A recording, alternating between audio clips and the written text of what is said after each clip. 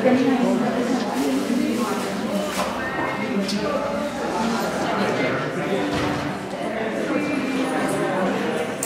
anyway, this is just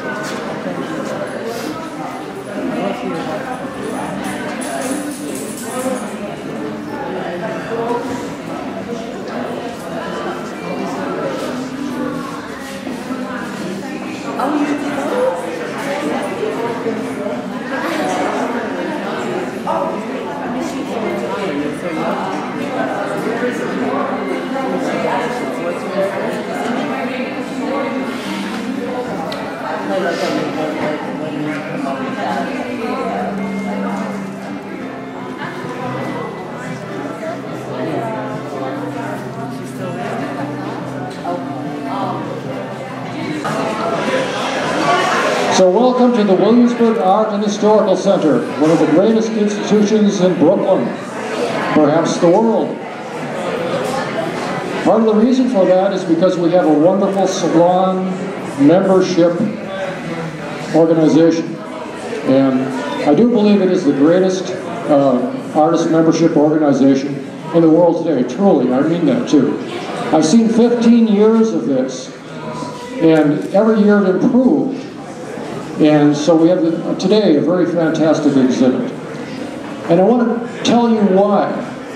I want to introduce to you a very great lady who founded the Williamsburg Art and Historical Center. Yuko, could you come forward?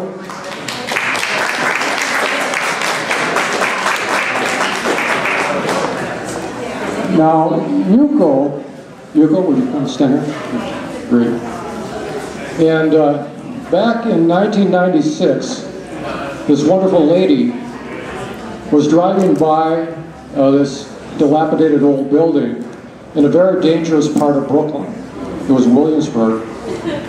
And you could, couldn't go out on the street at night. So you'd be murdered or robbed, mugged, you know. And there were burnt out cars in Williamsburg. And very few people, uh, except for gangsters, would wander the streets. Well, she bought a building and uh, it was an artist residence building. It was broken down too. She fixed it up through her own labor, much of it because she was was not very rich at the time, and uh, and even now, she says. Uh, uh, in any case, she worked with the local community and the police. There were a lot of decent people still living here too, and there were there were poor people, but she worked with them and the police and together they started to clean up Williamsburg and made it a safer place. Artists began to move in from Manhattan because they couldn't afford the rents. And uh, pretty soon uh, things improved a little at a time. And then the real estate people discovered the area too because the artists were moving in. And real estate people and the richer people always follow the artists. Why is that? I don't know. But they're following you. They're keeping an eye on you. They may not buy your art, but they want to know where you're going to live. So as a result, uh, over a period of years, Williamsburg became a very prosperous area. The real estate people bought it and started fixing things up. Again, they work with the police, they work with the you know, community. And so today you have one of the preeminent communities in the world to live. And a very young artistic community. Uh, back uh, when Yuko started out, we had a 1996, maybe a thousand artists. It grew to about 10,000. I don't know how many artists live here today because I think they've been priced out, many of the artists too. Now, as a result, uh, the government recognized Yuko and she got an award from uh, Howard Golden, then borough president, naming her Woman of the Year for all of her achievements. In, yes, that's not the only award. But he said that she has, through her activities, transformed all the northern part of Brooklyn. She's given credit for a lot of the changes here, and, and he's right. Subsequently, George Pataki, governor of New York, named her a Woman of the Year, uh, along with, I think, uh, four other very prestigious women whom you would know, like Diane Sawyer, uh, the, the newscaster. She was named a Woman of the Year, and uh, for her, her great achievements here. After that, Marty Markowitz, our late borough president, not late, not dead, but he's been replaced, and we're very sorry about that because we loved him very much. Uh, he gave her a Woman of the Year award. Besides that, he named her another, he gave her another award, the Asian Arts Award. And also, uh, uh, she was given a Citizens Award by Tracy Boyland, uh, a, a member of the City Council.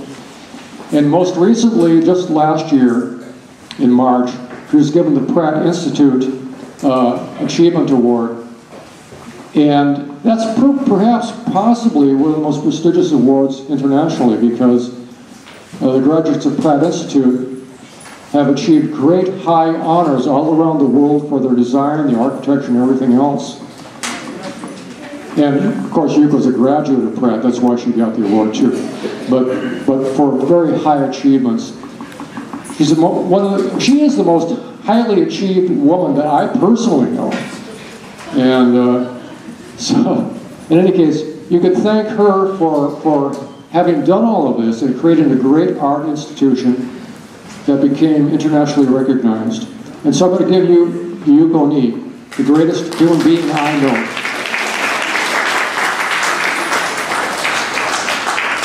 Thank you very much. And Terrance Lindall is the president of the WAH Center. And he's been working very, very hard behind me, behind the WAH Center. So I want to thank Terrance Lindall for 17 years of hardship. And not only Terrance, we have, we have so many volunteers who have helped us. And we couldn't afford paying individual volunteers. So they are all volunteers. So I would like to thank all the volunteers who have come this far to make the WAH Center today's WAH Center. Thank you very much.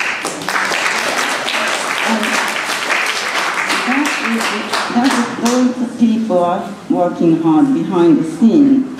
But artists who presented wonderful works, I have to thank all of the artists who participated in the show in the past. And then today is the 15th annual WAH Salon Show. So I want to thank all artists, 71 artists, and 130 pieces are hung here. And then today I am sorry to mention that our wonderful coordinator, Mary Westling, and she broke her ankle on Christmas Day. And so she is not joining us today, unfortunately. She has been always helpful for 14 years. Now, on behalf of Mary Western, coordinator of the Salon, we have a wonderful young lady whose name is Brittany Natale, and she is my assistant. Please come, Brittany. So you can see the WAH Center's bridge concept and that is our mission statement. So old and young, men and women, fine art and performing art, poetry reading, film, all the creative art will come to the WAH Center. And Wa in Japanese means peace, harmony, and unity. So it is appropriate for all of us to come to share the beautiful works, beautiful performance, and in peace throughout the international language of art. We come to understand each other, and then we respect each other, and we love each other. So that's what WAH Center means. And Brittany, as young as she is, she is very, very capable, and I am very thankful to be with us and not, I cannot even mention so many wonderful volunteers, interns, I don't name them, but my big thanks goes to everybody. Okay, so thank you. Um, and Good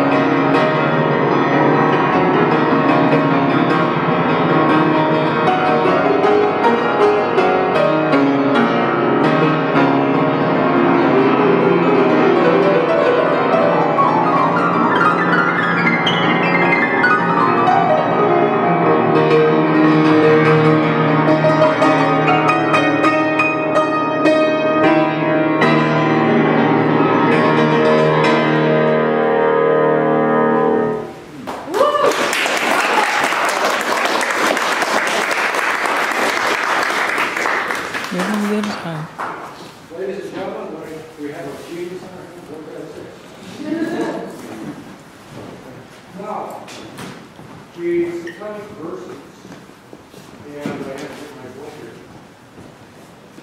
And, uh, वो उठाया ताली बजी आपने फिर नहीं बंद मैं वो आगे आ रहा मैं इस करवा हुआ कुछ देर This painting here represents Satan's manifestation. There's a tear in the fabric of the universe, and Satan is coming forth with all his power. It looks like the Eisenhower altarpiece, that looks like a Christ figure.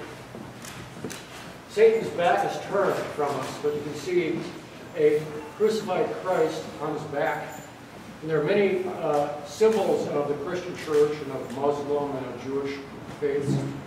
Because Bien believes that Satan manifests himself through those religions and actually corrupts them and corrupts humanity through them. Now, you may not agree with that, although many of you are very religious people. And yet, we see in the world that nothing we do seems to solve the problems of humanity. Humanism. I have said many times myself, humanism, which is where human beings decide how to best manage the world, is a scorpion that will sting itself to death. Because there really is nothing human beings can do because, because we're greedy or we have desires. Now, to ask you something. Do you people have desires? Everybody has desires. You want to be rich? How many want to be rich? Some do. How many want to be famous? I see a hand. How many want to be powerful? How would you like to have all the pleasure you could have in the world? Anybody? You all deny it. Now that's character. We don't want to show that aspect of ourselves. We want to think of ourselves as good people, good to others, good for ourselves too. And, and yet, behind character is something called personality. And only you people know your own hidden thoughts.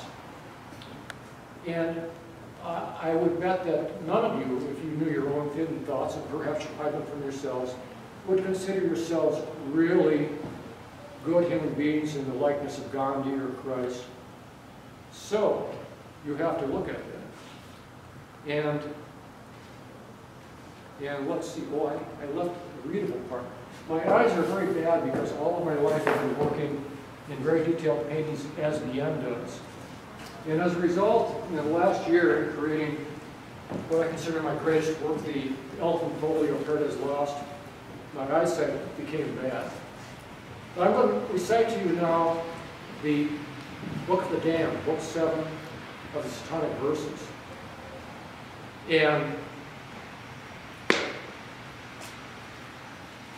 I have to say that all of you are damned.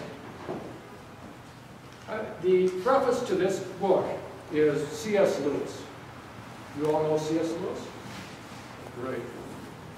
It is a serious thing to live in a society of possible gods and goddesses. To remember that the dullest, most uninteresting person you talk to may one day be a creature which, if you saw it now, you would be strongly tempted to worship, or else a horror and a corruption, such as you now meet, if at all, only in a nightmare. Now we begin the verses of the end. The wise rulers, Euro-Asian Euro American, the co-prosperity sphere, democracies, a fiction, not by men elected, by Satan. I know the rights by which they rule. The world is made of numbers. Pythagoras knew, Father Guru. I know their numbers and their shape, the pentagon, Satan's star. Ruled we are not from among our own, but by the ever unchanging high order of that satanic club. The enlightened ones, to do good, they say, and no marvel, for Satan himself is transformed into an angel of light. Therefore, it is no great thing If his ministers be transformed as the ministers of righteousness, they will perform wonderful works for humanity and feed us milk and honey, but it will be bitter in our mouths, like that little book of John. The number of the beast is the number of a man, and his number is 666. Understand one thing. The kingdom under the Antichrist, more glorious than any earthly kingdom,